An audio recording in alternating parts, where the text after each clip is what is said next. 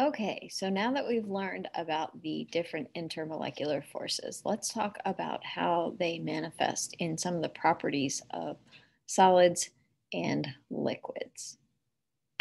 Let's go ahead and jump into our PowerPoint here.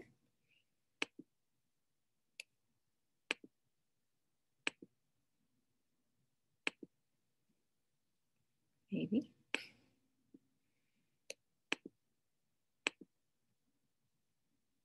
There we go. Okay, so um, so we're going to start by talking about solids, and we're going to talk about how things change from solid to liquid and to gas. So when we think about the structure of a solid, what we're really talking about is how those molecules and ions are arranged in three-dimensional space. And what governs the way that they are arranged is those intermolecular forces. And so, just to remind you guys, um, we know that the intermolecular forces are related to boiling and melting points. So, the stronger those intermolecular forces are, the more tightly together those molecules are going to be held. And that means they're going to require more energy in order to change states of matter. And so, that means that the stronger the intermolecular forces are, the higher the melting and boiling points are going to be.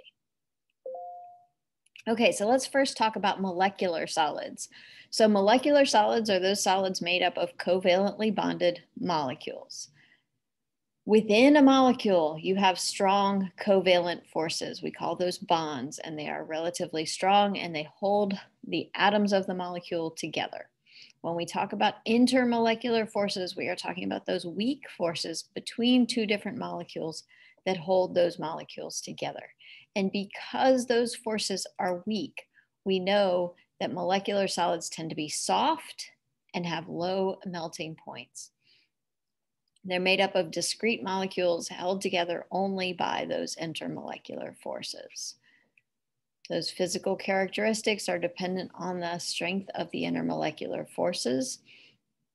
Molecular solids are also, generally speaking, insulators. They do not conduct electricity. Okay, so the next type we're going to talk about is what we call covalent network solids. So covalent network solids tend to be very hard and they have high melting points.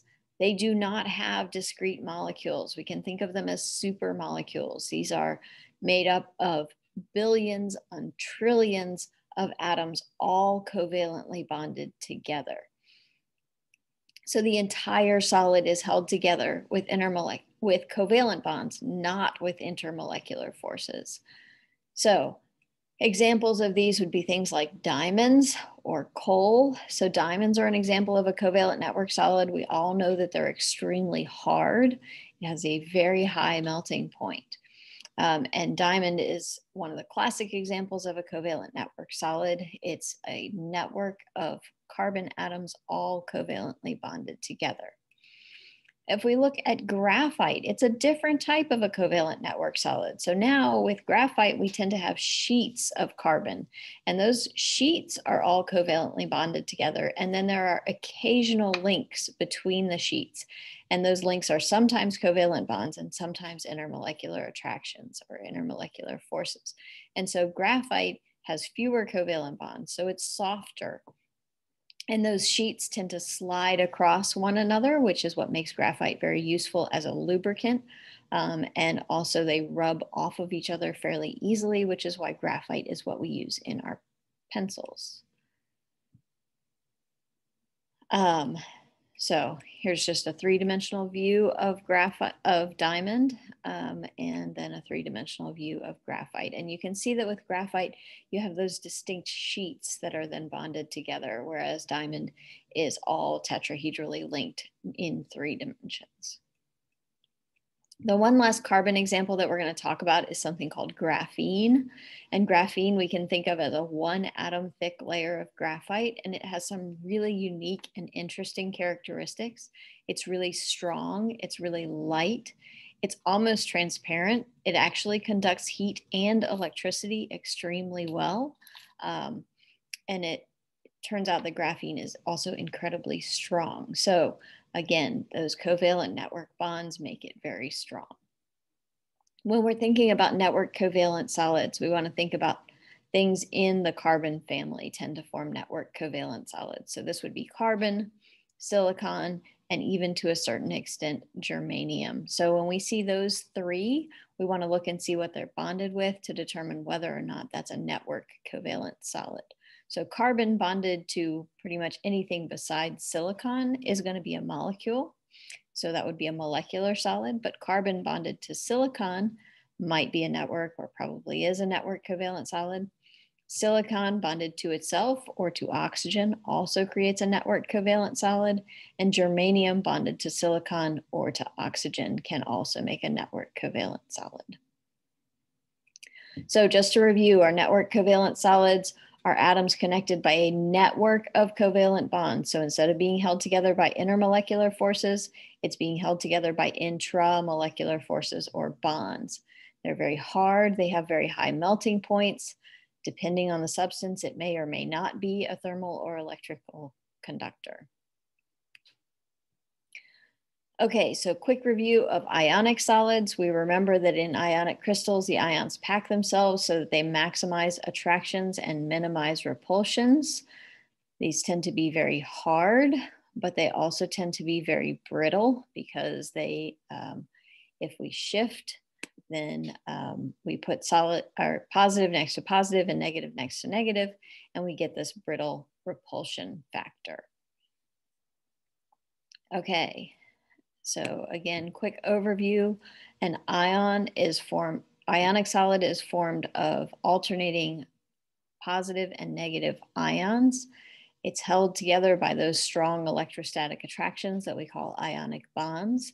They are hard but brittle, they have very high melting points. They are not very good thermal conductors or electrical conductors, but when they are molten or dissolved in water, then they are exceptionally good electrical conductors. Okay, metallic bonding. We remember that we talk about the chemical bonding that results from the attraction between these uh, charged nuclear cores and the surrounding sea of electrons. And this is formed by all those overlapping p and d orbitals. The electrons are free to move. The um, atomic cores can slide past one another and still be in contact with all of those free valence electrons. And so um, metals are malleable, ductile. Um, they have high luster because of those overlapping orbitals, and they are conductive because the electrons are free to move. So again, Metallic solids are held together by metallic bonds. So again, we're talking about a solid that is held together by intramolecular forces.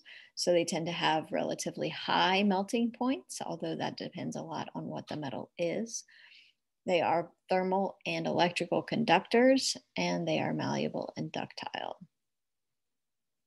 Okay, so one last category of solids, and that is semiconductors. So a semiconductor is somewhere between a conductor and an insulator. It can conduct in certain um, situations. So as temperature is increased, silicon becomes more and more conductive. We can also improve the conductivity of silicon by doing something that we call doping with other elements. So if you think back to um, alloys of metals where we replaced some of the um, atoms of the metal with atoms of another metal, and we called that a substitutional alloy. We can do the same thing with three-dimensional structures of silicon.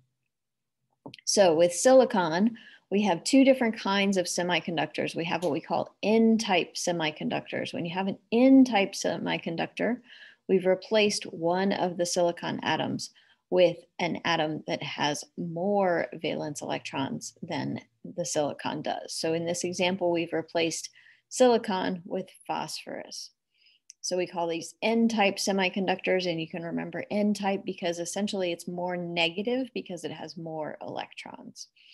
And the additional electrons just make it so that it's actually a little bit easier for all the electrons to travel.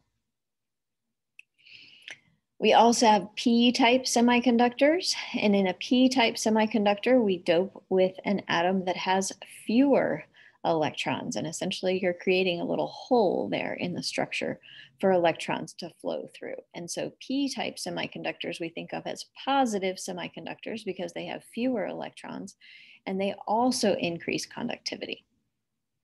These are very um, functional. In fact, when we think about solar panels, it's actually an interaction between N type and P type semiconductors and bridging the gap. That's actually what makes um, solar panels work.